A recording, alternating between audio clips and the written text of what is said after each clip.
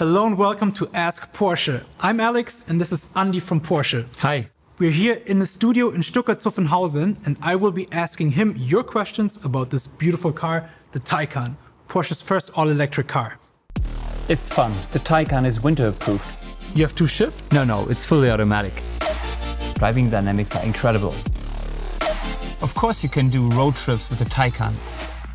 it's gotten cold here in Stuttgart, Germany. Minus 4 degrees today, but it's warm inside. And I'm here with our Porsche expert Andy and the Taycan. Max wants to know, how does it handle winter conditions and cold starts? Okay, of course, uh, no problems with cold starts at winter times like this. I can tell you that our engineers tested cold starts up to a minus 35 degrees. So no worries about that. But Max also wants to know how the car handles in the winter. Driving dynamics are incredible because we benefit from the all-electric powertrain, which can uh, control the torques really fast, five times faster than conventional cars. What about the range in the winter? Temperature limits range, of course, we all know that. That is why we support our customers with a range indicator on our website. Do you know that? Yeah, I've seen it on the website, but please show us. Maybe you can check that out. Could you please give me the iPad? Thank you. Okay, we selected one of the derivatives, the turbo. Mm -hmm. uh, we have almost uh, 380 kilometers of range. And yep. if we reduce the temperature from 20 to okay. minus 5 degrees Celsius, uh, you can see the range dropping, dropping about 45. Yeah, that's very convenient. So you just put in the outside temperature and you will know what the range is. Absolutely. And if you opt in for the heat pump, then it goes up, up a bit. 350 kilometers again. All right, very convenient tool. Max, thank you for this question. And you might freeze in the winter, but your Taycan will start up. How electric cars have better acceleration than gasoline cars? All right, um, internal combustion engines need revolution to generate their full torque, yeah. and that takes some time. And electric cars, when you push the pedal to the metal, there's a digital signal, electricity flows, and the car takes off. That's why they have great takeoff experience. Right. Also, sometimes I want to go from zero to, let's say, 200 really fast. Talk to me about that. Really important for us, zero to 200. That's why we introduced for the first time in the electric car business a two-speed transmission.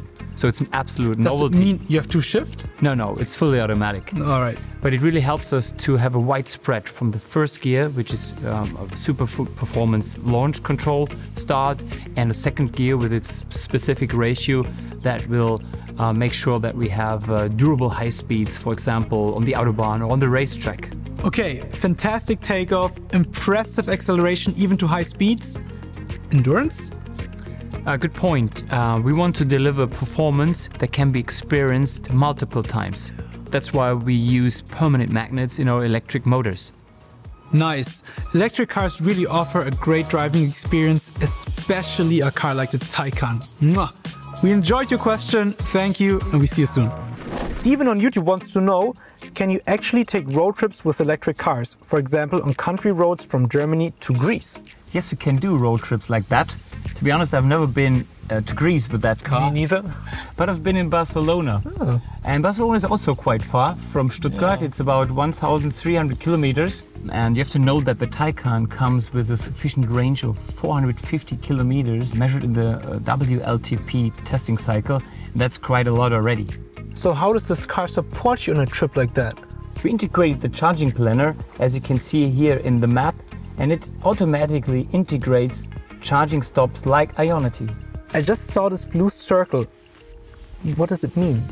A really useful feature because you can see from first sight how far you can go with the actual state of charge. Ah.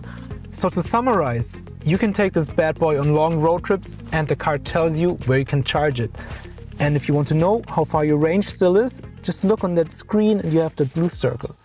All right, Steven, that's your answer. See you in the next video.